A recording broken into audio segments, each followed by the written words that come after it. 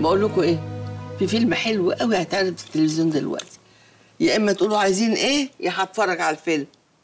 لا لا سيبك من التلفزيون يا زوزو ده إحنا عندنا أفلام أجمد من كده بكتير. نماية جديدة؟ مين عمل إيه؟ نماية؟ مش نماية سر. سر كبير ما كانش المفروض أعرفه.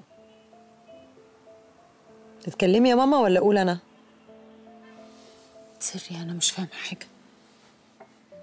السر الكبير اللي خبيتيه علينا كأنك عاملة عاملة فبدل ما أعرفه منك أتعاير بيه. أنا مش فاهمة حاجة.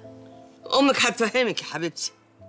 اولا ما هو سر ثانيا ما هوش عيب ثالثا ما فيهوش أي حاجة تتعايروا بيها. وبعدين من فضلك كلمي أمك بأدب أكتر من كده. فاهمة؟ كنت عارفة يا زوزو؟ أيوه. هو أنتوا مخبيين عليا حاجة تاني؟ أيوه يا حبيبتي مخبيين. كل واحدة فيكم مخبية سر. اللي تعبانة ومش عايزة تقول لحد إنها تعبانة. واللي عنده بنت بقاله سنين مخبيها وعرفناها بالصدفة.